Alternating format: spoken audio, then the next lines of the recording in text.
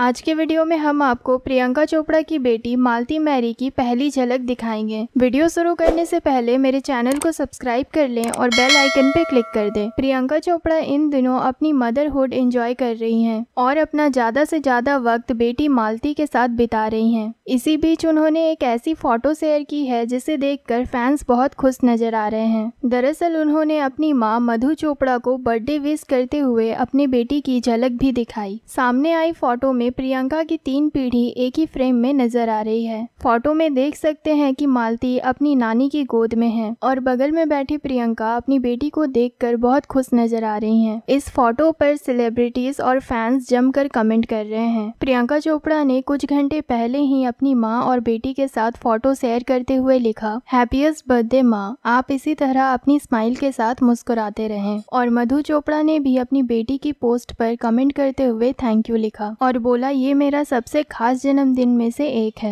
प्रियंका चोपड़ा ने जो photo share की है उसमें उन्होंने अपनी बेटी की पूरी फेस नहीं दिखाई है आपको बता दे कि पीसी की बेटी का जन्म इसी साल जनवरी में सैरोगेसी के थ्रू हुआ था हालांकि उनकी बेटी प्री मैच्योर पैदा हुई थी इसीलिए उसे कई महीनों तक हॉस्पिटल में रखना पड़ा था